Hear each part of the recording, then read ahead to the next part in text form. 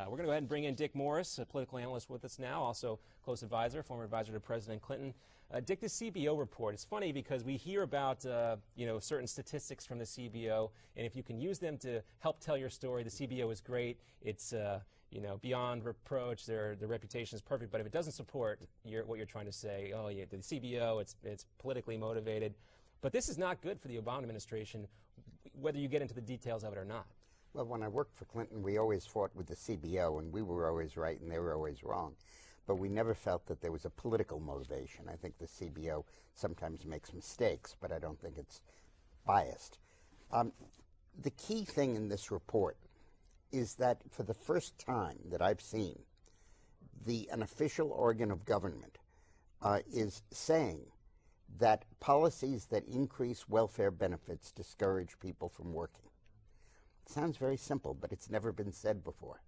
Here they said that if you offer people health insurance subsidized, people are going to stay out of the workforce because they figure they can get health insurance anyway, and the and that employers are going to cut back on hours and therefore the jobs will be so low that they won't enter.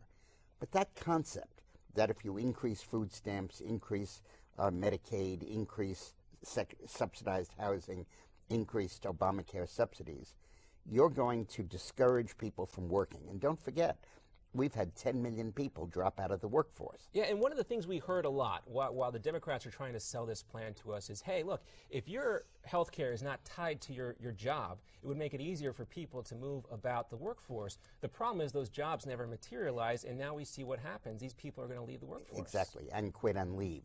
And what we have to understand is that the goal of the Obama presidency is to increase the number of Americans who receive means tested welfare, increase the number of Americans who don't pay income tax, and decrease the number of Americans in the workforce.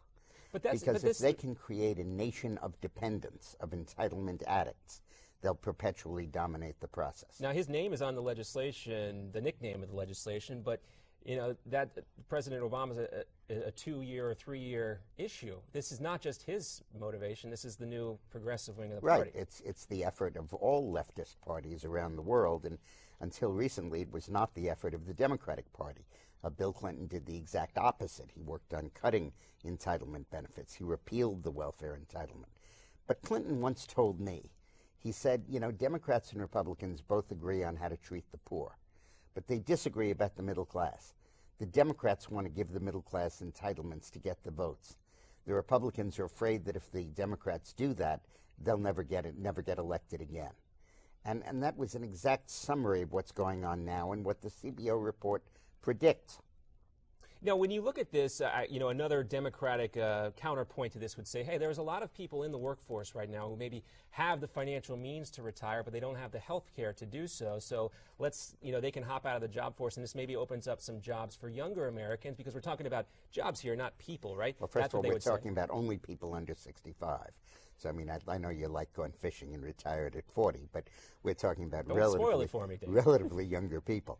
Uh, and secondly, the biggest impediment to those people retiring is the zero interest rate policy of this administration. For three years, they've guaranteed that if you sell your house and save for a whole lifetime and you have 200000 and you say, whoopee, I'm going to retire at 6 or 7% interest and I'm going to get a 1000 a month to supplement Social Security, that ain't materializing because he has zero interest. Nothing could do more to discourage saving in retirement than that.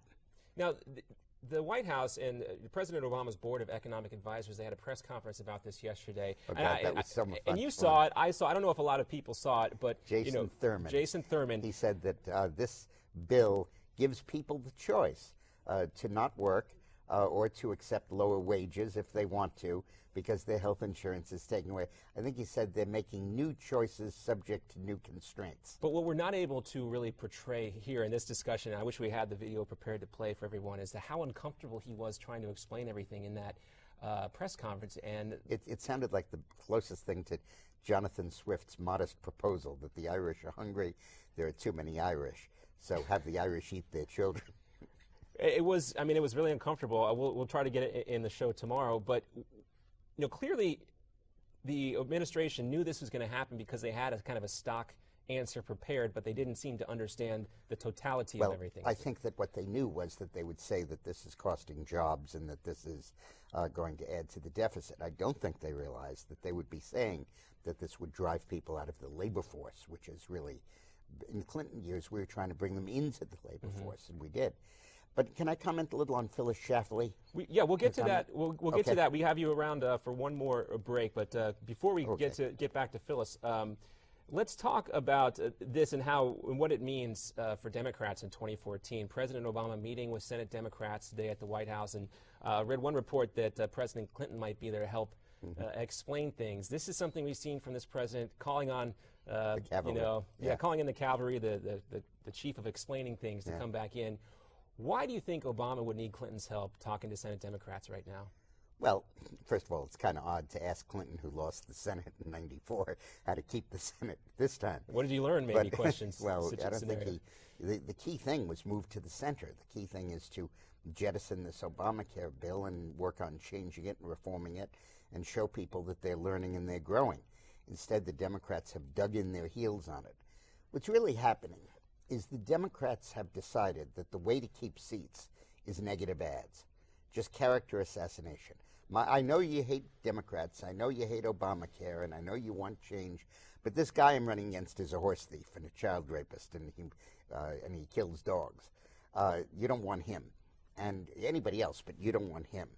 And their concept is really to run wall to wall negative campaigns like Obama did against Romney. Never mentioned health care, never mentioned deficit spending, Obamacare, any of that. It was Bain Capital and outsourcing Right. jobs. That was the whole deal.